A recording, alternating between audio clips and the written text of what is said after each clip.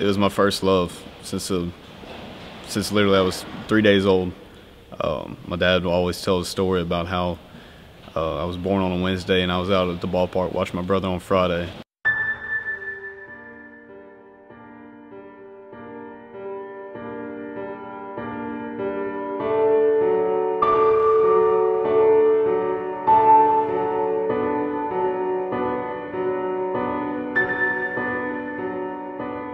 It's been a part of me. Um, I grew up playing it every season. Um, had a lot of success growing up. Just going out to the ballpark. Really, it's a funny story. Um, we were in the gym one day, and uh, there weren't enough players to play. I was just sitting in the crowd, came to watch a game, and uh, my stepdad, he kind of raised my hand because they were picking people out of the crowd to play.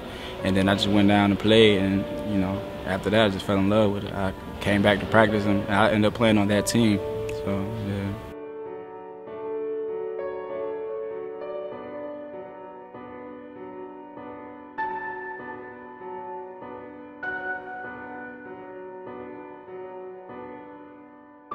I think it's just so many years I've been so competitive in like everything. I guess that's just how I grew up, how my parents raised me.